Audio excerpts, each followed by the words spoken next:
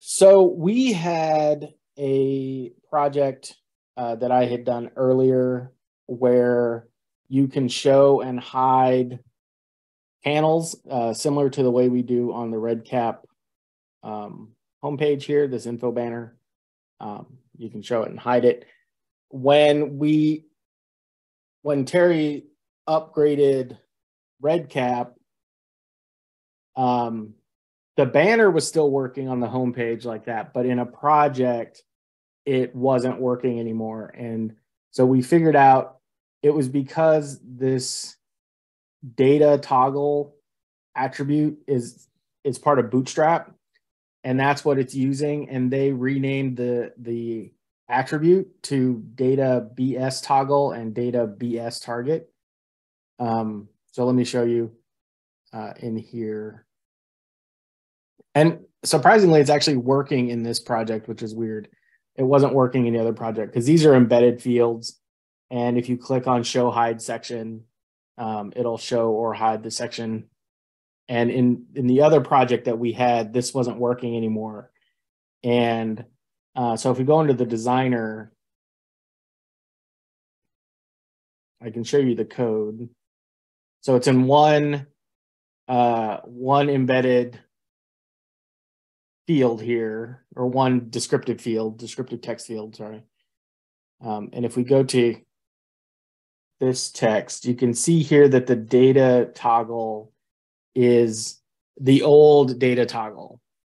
Um, so let me just copy this into a text so I can do copy and repay, uh, replace.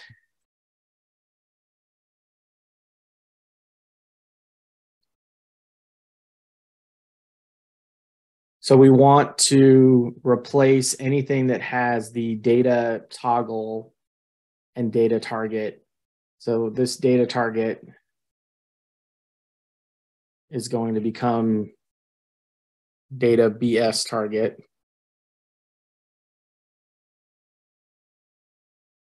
And then anything that is the data toggle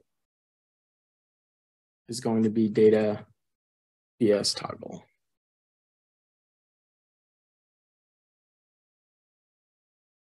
We'll, just update that in here. And it should still work. If not, we can always change it back. Um, but that's with Bootstrap 5. If and that's what is native to REDCap now. So this isn't something that's on your machine. Uh, it will be part of the REDCap projects. Um,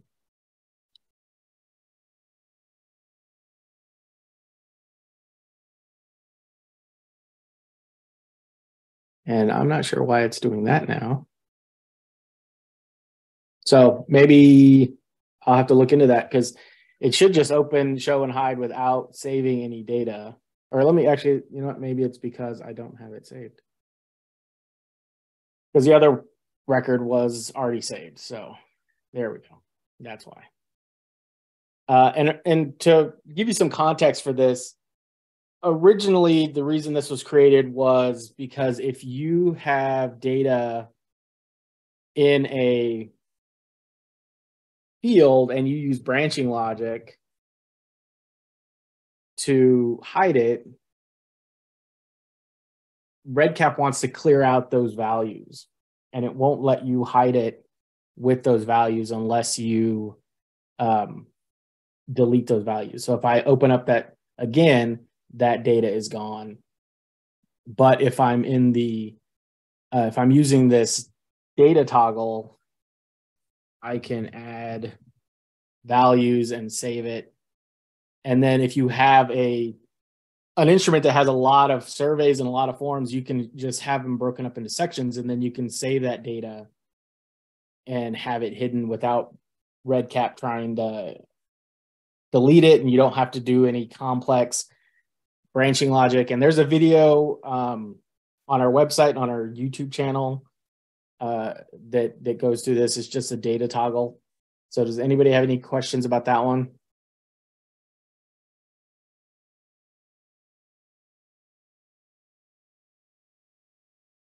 All right.